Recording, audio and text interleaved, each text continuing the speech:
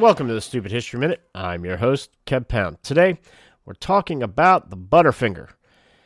Butterfinger has a history dating back to 1923 when it was created by Otto Schnering in Chicago, Illinois. Originally called Butterfingers, it was marketed as a candy bar with a unique crunchy peanut center covered in chocolate.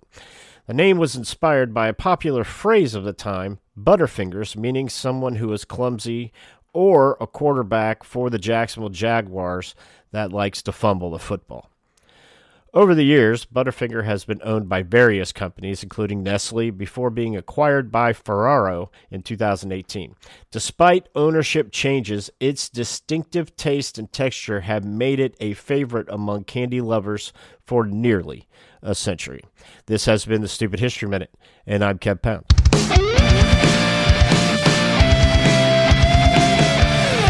This podcast is a production of Unfiltered Studios. If you would like to know more about joining Unfiltered Studios, please visit our website at unfpod.com for more information.